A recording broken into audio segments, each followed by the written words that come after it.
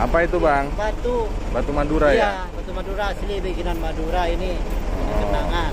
Kalau gelang. kalau mau ke sini buat oleh-oleh. Iya. Harganya murah ya terjangkau Oh, ya murah. Ini. Harganya Ini, kalungnya berapa itu? Yang mana?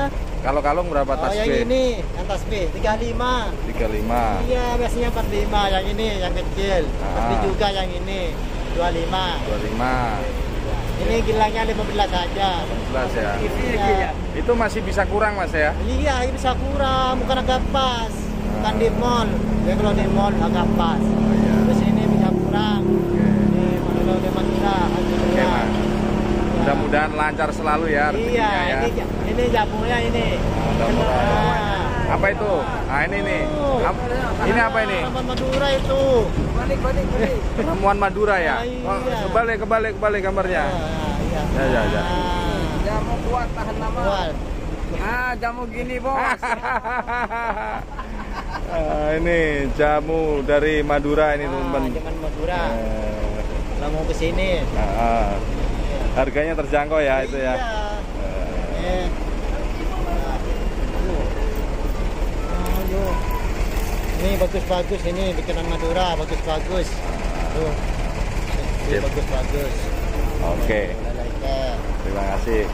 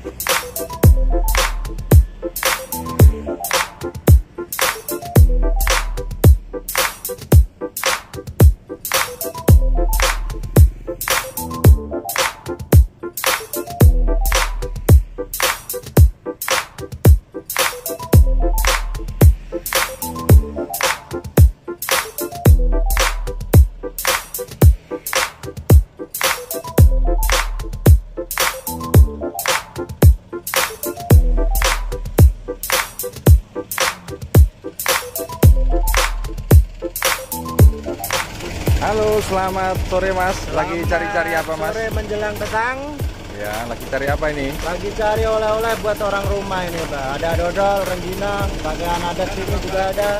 Oh, terus baju khas Madura Mas ya? Baju khas Madura, loreng putih sama merah.